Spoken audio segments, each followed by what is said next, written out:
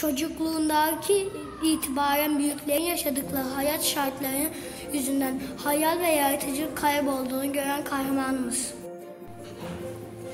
Tanıdığı herkes kendi çizdiği olduğu bir file yutan boğa yılanı resmini gö- gösterir ama kimse bu resmi anlayamaz. Yıllar geçer kahramanımız büyür ve pilot olur. Gezintisi sırasında bir kaza geçirir ve bir yerde mahsur kalır. Yanında çok az yiyeceği ve içeceği bulunan bir süre sonra küçük prensiyle uyanır. Ondan koyun koyun resmi çizmesini ister. Herkese çizdiği resmi çizer. Küçük prens bulunan fili yutan yıl, yılan olduğunu söyler. Koyun resmi istediğini tekrar eder.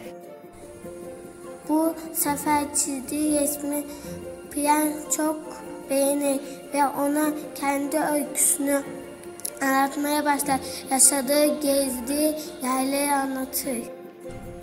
Son olarak gezdiği dünyada bir tilki aldığı sırrı açıklar. Ona bu sır insanların yüreğine gözüyle bakması gerektiğini söyler.